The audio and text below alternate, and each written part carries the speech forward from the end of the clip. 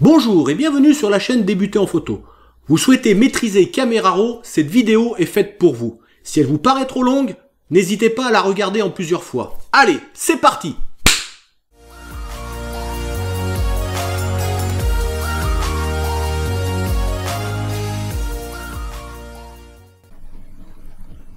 J'étais parti pour faire euh, une seule vidéo sur euh, la présentation et le fonctionnement de Camera Raw et je me suis aperçu que ça allait faire très très long. Donc finalement ça sera divisé en deux vidéos dont la première euh, parlera du menu qui s'affiche à l'écran en ce moment. Alors n'hésitez pas à aller prendre un petit café, vous installer confortablement et profiter de cette première vidéo. Nous voilà donc dans Camera Raw 12.3.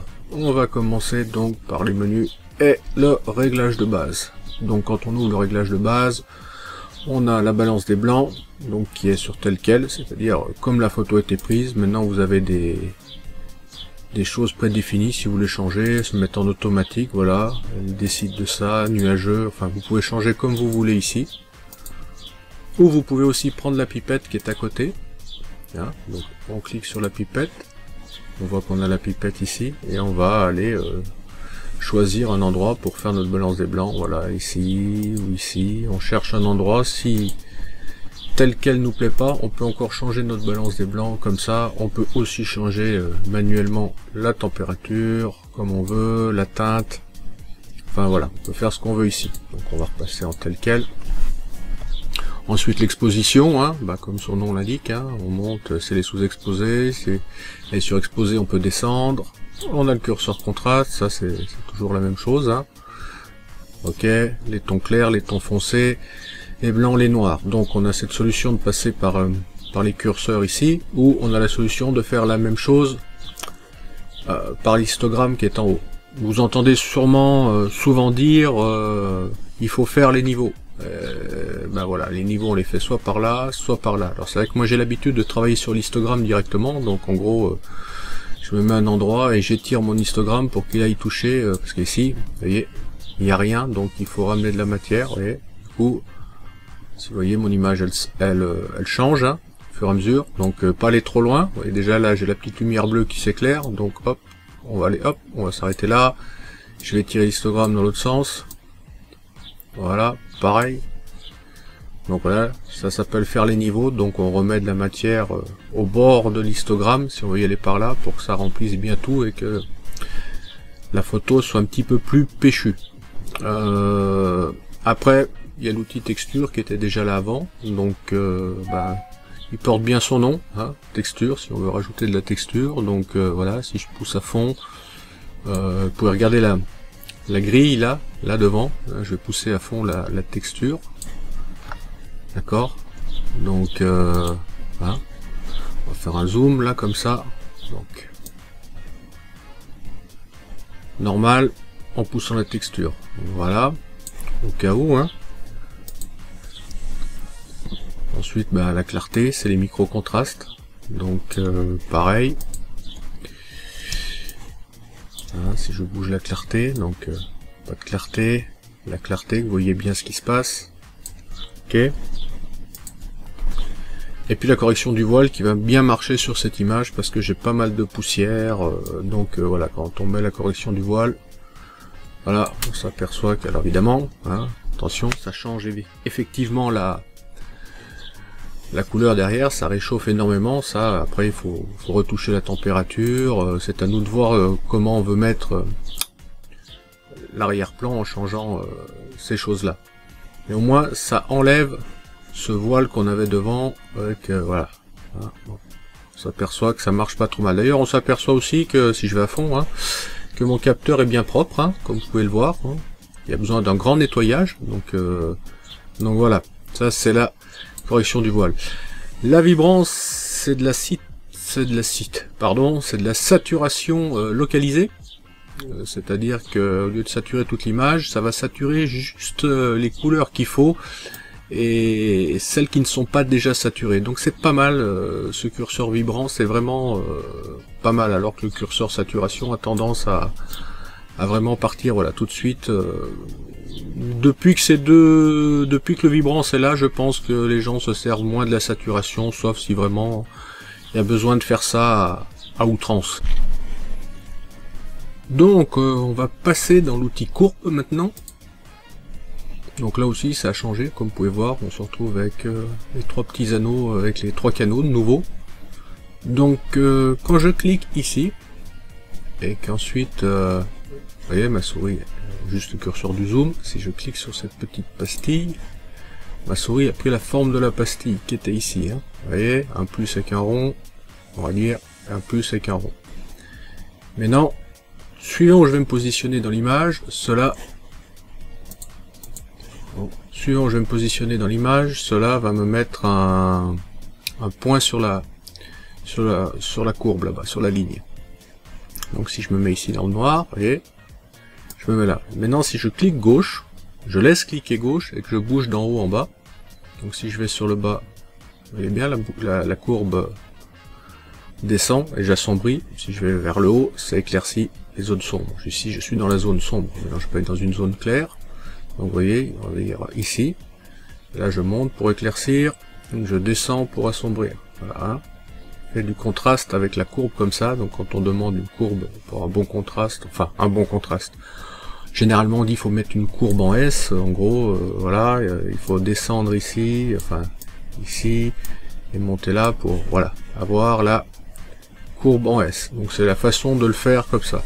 Si vous voulez remettre à zéro, vous faites un clic droit sur la courbe, réinitialiser les régions, tac, la courbe revient normale. Maintenant on peut, on clique à côté là, sur le petit rond, on a toujours euh, ici sélectionné, et ce coup-ci, je clique et une fois que j'ai cliqué que je relâche, ça place un point sur ma courbe. Donc si je... voilà, hein, vous voyez, j'en place un autre, etc.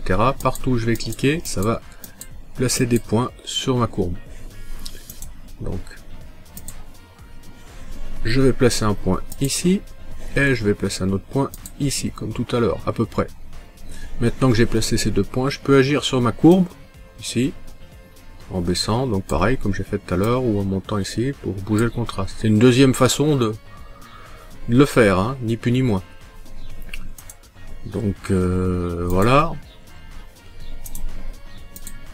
On remet à zéro. Et maintenant, bah, c'est pareil, vous avez les canaux maintenant qui sont là pour jouer sur les couleurs. Alors, euh, à mon avis, ça ressemble plus à du virage partiel qu'autre chose, mais bon, on peut encore jouer avec ça. Mettons le, le bleu, voyez là. Euh, c'est pareil, si je vais là-haut dans les zones claires et que je descends, je vais me retrouver, voilà, ici ça passe au jaune. Pourquoi pas, hein, euh, après si je veux que ça soit un peu plus bleu. On peut s'amuser avec ce genre de choses. C'est... Pourquoi pas, hein. pourquoi pas, maintenant... C'est là, c'est pas obligatoire de s'en servir, mais on sait qu'on peut s'amuser avec ça. Donc voilà, trois façons de... Enfin, deux façons ici pour changer la, courbe, ou directement bouger la courbe ici, euh, comme tout à l'heure, hein. on peut faire ce qu'on veut depuis, la courbe. Depuis la courbe, depuis les points, ou en laissant cliquer et déposer. On va passer à l'outil netteté. Bon, ici ils appellent ça détail, donc on clique sur détail. Par rapport à la version d'avant, on avait tous les curseurs qui étaient déjà dépliés. Maintenant, il faut déplier la petite flèche pour avoir, voilà, la netteté, le rayon, le détail et le masquage. Avant, dès qu'on cliquait dessus, on avait tout déplié. Bon, c'est la seule chose qui a, qui a changé. Quand on le sait maintenant, il faut déplier ça. Donc la netteté, ben, comme son nom l'indique, hein, on rajoute de la netteté. Euh, alors ça, c'est la, la quantité de netteté qu'on rajoute. Hein. le rayon, c'est la quantité de pixels à rapprocher pour que agisse la netteté au bon endroit. Alors, on va passer plutôt comme ça pour mieux voir comment ça fonctionne.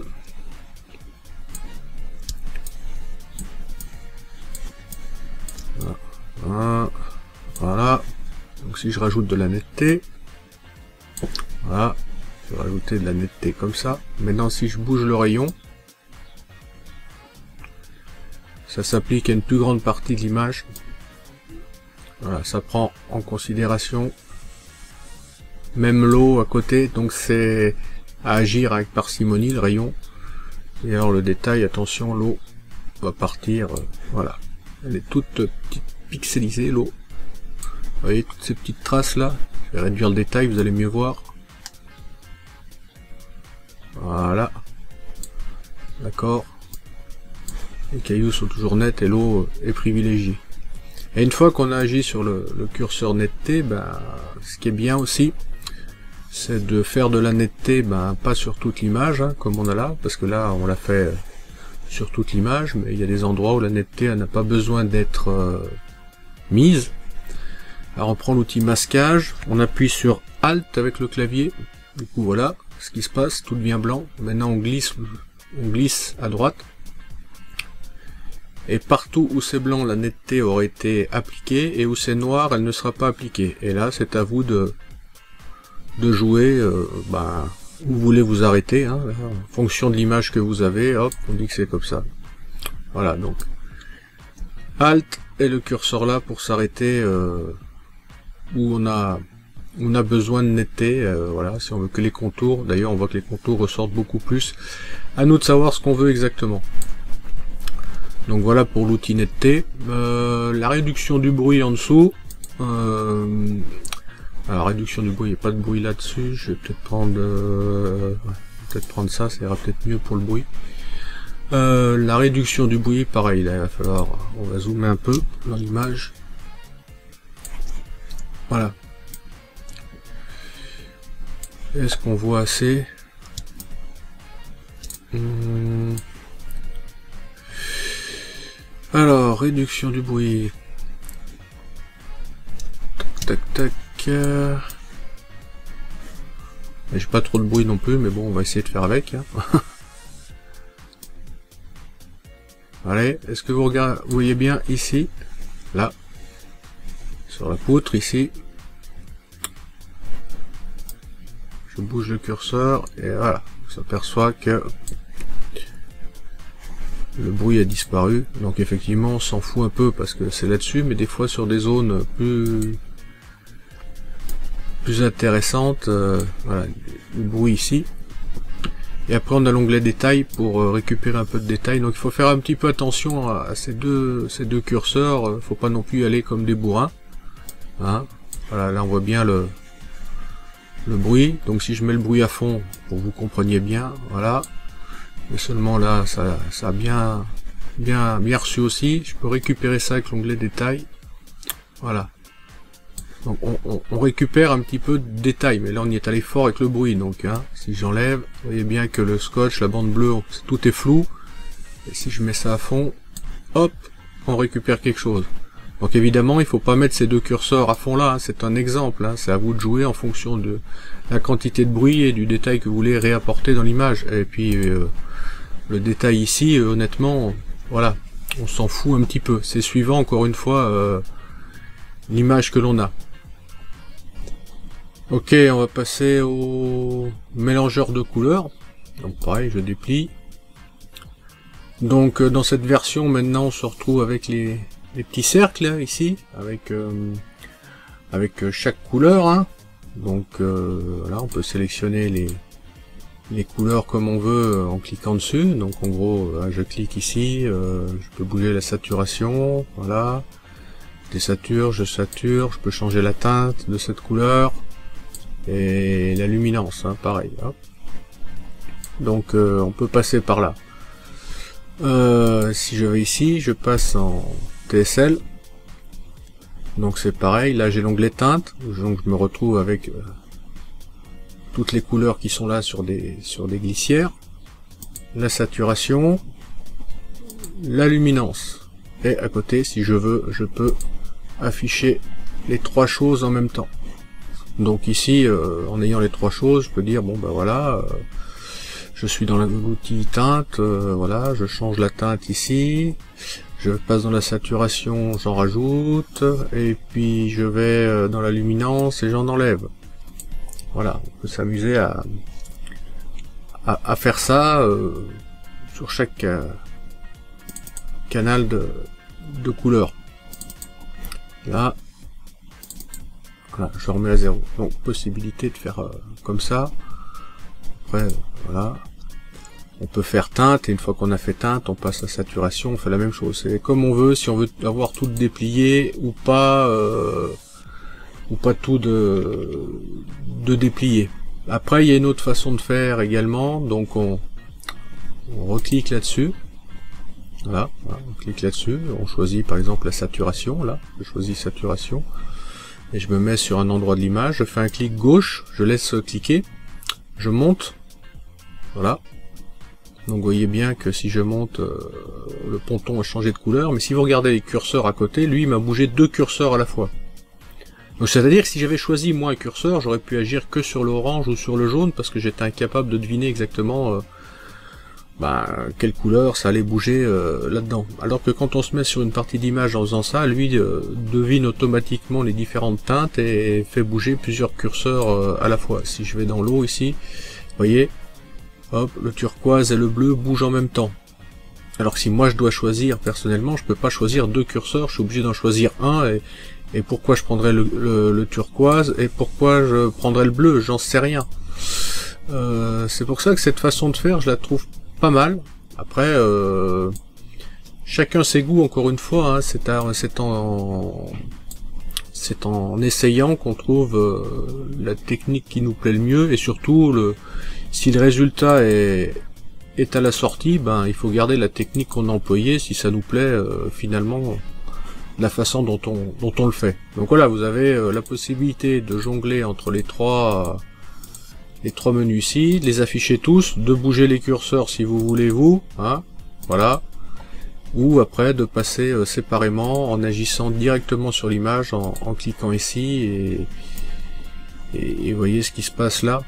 Ah, petite chose que j'ai oublié de vous dire pour tous les autres onglets, hein, ici, ici, ici, maintenant on a l'œil, ce que j'appelle l'œil, c'est-à-dire, euh, on va faire la saturation qu'on voit bien différence, voilà, l'œil, donc une fois qu'on a fait toute notre petite chose là, on clique sur l'œil, et on a la photo initiale, on relâche l'œil, on voit ce qu'on a fait, on clique, on revient au départ. Du coup, pour avancer dans le, dans le traitement, si on, voit qu'on a un peu trop fait, ben c'est pas mal, euh, et ça on a ça sur chaque élément, hein, que ça soit la couche, le détail, euh, on a l'œil partout, comme vous pouvez voir en dessous ici. Donc c'est pas mal pour faire un avant-après, euh, même si on peut positionner deux images côte à côte comme ça, mais fur et à mesure qu'on joue sur les curseurs, Savoir si on n'a pas été trop loin, c'est quand même pratique de faire un, petit coup d'œil, euh, c'est le cas de le dire, un coup d'œil. Voilà. On va donc passer au virage partiel. Donc on a les tons clairs et les tons foncés. Donc si on bouge la teinte, euh, bah, il se passe pas grand chose. Hein.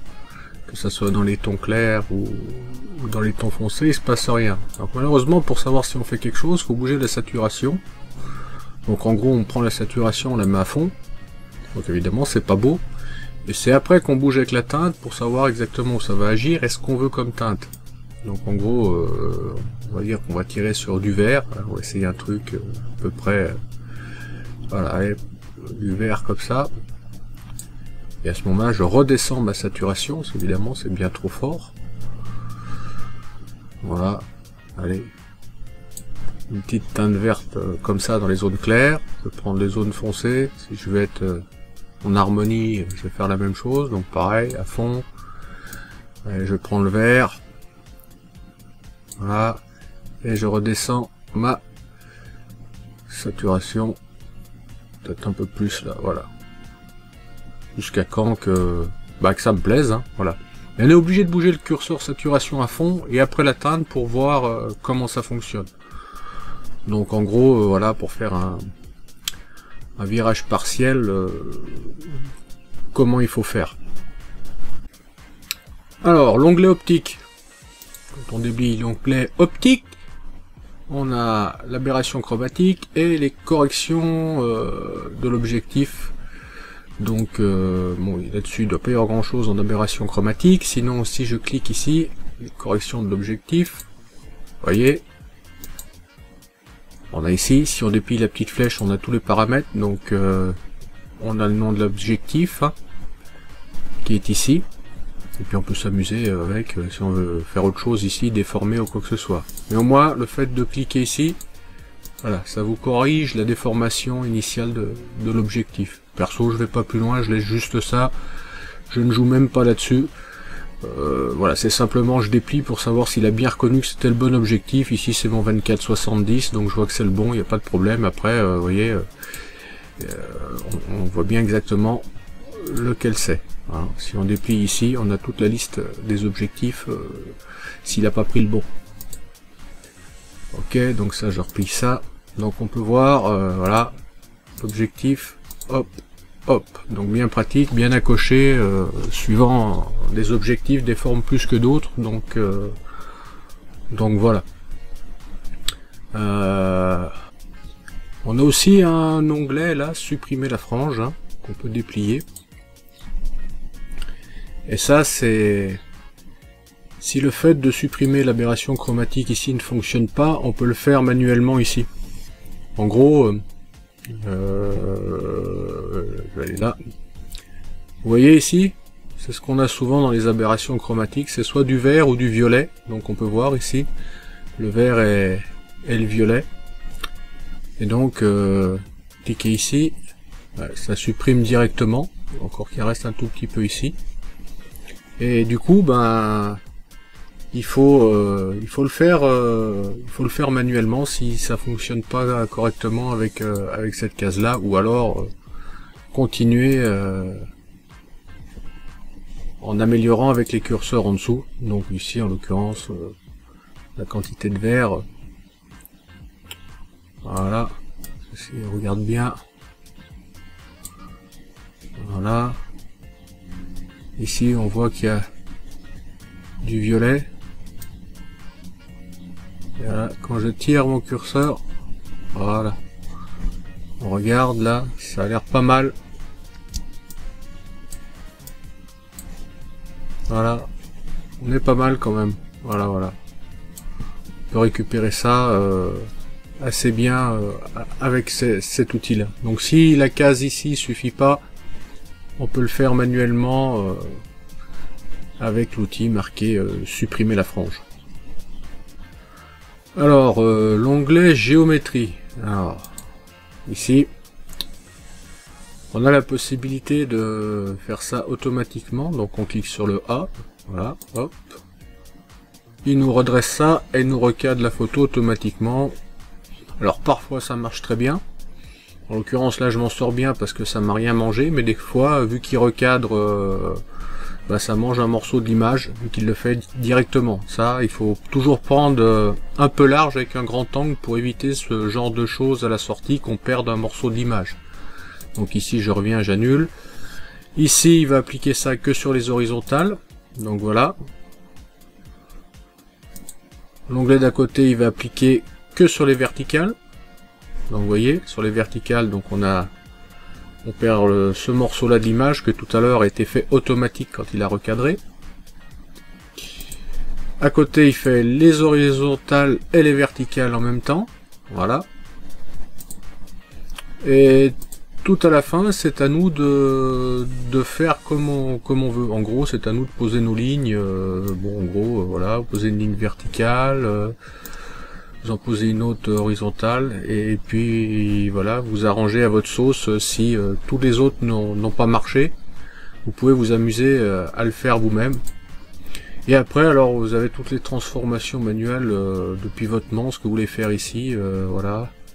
on peut aller comme ça, comme ça, euh, bah, pareil sur le côté, hein, si c'est trop comme ça ou trop comme ça, euh, voilà, bah vous pourrez essayer les curseurs, vous verrez ce que ça donne, hein, la rotation, l'aspect, donc l'aspect ça zoom, hop, voilà, ça c'est hop, l'échelle ça zoom par contre, voilà, enfin c'est c'est vous qui voyez euh, ce que vous voulez faire avec ce, ce genre de choses. Donc euh, l'onglet est fait là, donc euh, voilà, on a la possibilité de rajouter du grain sur la photo pour ceux qui aiment donner un côté euh, un peu plus argentique à la photo. voilà, j'ai peut-être un peu trop trop zoomé. si je mets du grain, voilà. Hein. Évidemment, si je vais à fond, vous voyez ce que ça donne là histoire de se rapprocher de l'effet pellicule. Alors euh, ça peut être intéressant, euh, pas sur ce genre de photo, mais Certains aiment bien, surtout sur du noir et blanc, rajouter un petit peu de grain pour euh, rappeler euh, l'histoire de, la, pellicule avant. En dessous, on a l'onglet du, vignettage. Donc, euh, si on va à gauche, c'est la vignette en noir. Si on va à droite, c'est la vignette en blanc. Voilà, hein, vous pouvez le, constater. Le curseur du milieu, là, il définit la grosseur du vignettage. Donc euh, si je vais faire comme ça, je vais mettre à fond là, comme vous voyez. Voilà. Énormément. Plus je vais là, moins il y en a. Ben, voilà, à quoi sert le curseur du milieu? La rondeur, bah, évidemment, c'est la forme du vignettage. Hein, c'est le rond, voilà. Le contour progressif, en s'estompant, ou alors bien net. Voilà. Donc, euh... et puis on peut faire un petit truc marrant. Hein. Euh, vous allez voir, on va mettre, euh, oui, on va mettre euh, le vignettage à, on va mettre dans l'autre sens, tiens, on va mettre le vignettage à 100, le milieu à 50, la rondeur dans l'autre sens, et le contour progressif à 100. Puis là c'est drôle parce que, voilà, on a fait un cadre. Donc on peut s'amuser aussi comme ça avec le vignettage. Voilà, c'était juste un petit truc pour rigoler. Donc, euh, donc voilà comment fonctionne euh, le vignettage aussi sur les photos. On va passer à l'onglet étalonnage. Ça va être rapide car personnellement je m'en sers pas, donc je ne saurais vous expliquer son fonctionnement. Par contre, si quelqu'un veut l'expliquer en commentaire, qu'il n'hésite pas. Pour ma part, avant de finir cette vidéo, je vais vous montrer deux ou trois petites astuces. On a la possibilité, alors je vais faire n'importe quoi sur l'image, voilà, ici de passer à l'avant-après, en cliquant ici, avant, après, avant, après, et avec l'onglet d'à côté, voilà, on peut avoir l'avant-après euh, côte à côte, on peut l'avoir comme ça, alors c'est toujours pas d'actualité euh, pour faire glisser euh, le avant-après sur l'image en direct, hein, là ça ne fonctionne pas, on peut pas attraper le, le milieu, mais bon, on a déjà comme ça.